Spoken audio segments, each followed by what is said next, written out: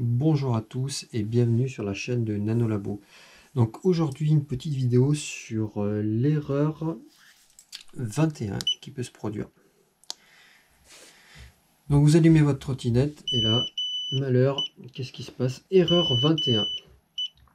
Donc euh, on l'entend donc deux bips longs un bip court, ça veut dire 21, et sur l'affichage, il est bien marqué 21. Donc cette erreur est liée au BMS, le module qui euh, gère toute votre batterie. Donc, euh, comment ça se passe Sur la M365 normale, vous avez accès au BMS en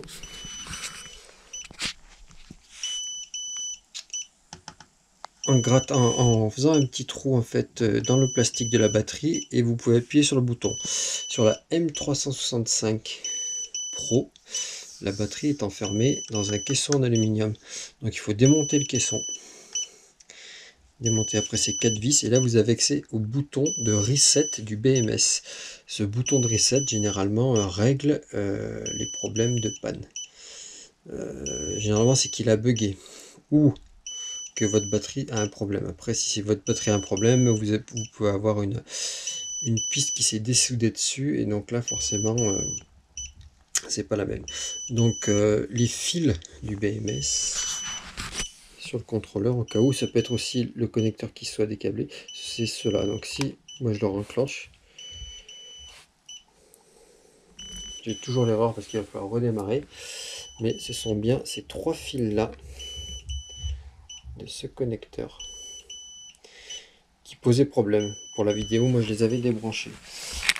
Donc euh, faire un reset de, BMS et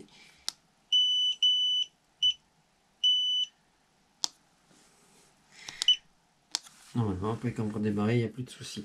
En fait c'est ce module permet de, de gérer votre batterie. C'est lui qui coupe votre batterie quand euh, avant qu'elle soit trop déchargée pour préserver euh, vos cellules.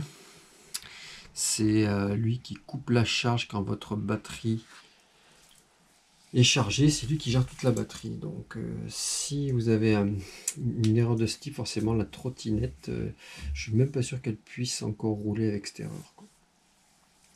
Donc voilà, si ma vidéo vous a plu, n'hésitez pas à, me, à vous abonner à ma chaîne, à me mettre un pouce bleu, à me poser des questions. Je vais bientôt faire une vidéo euh, sur une M365 normale. Donc je vous montrerai euh, comment on fait pour euh, faire le reset du, BMS dessus. Et voilà, donc je vous dis à une prochaine fois sur la chaîne de Nanolabo. Labo.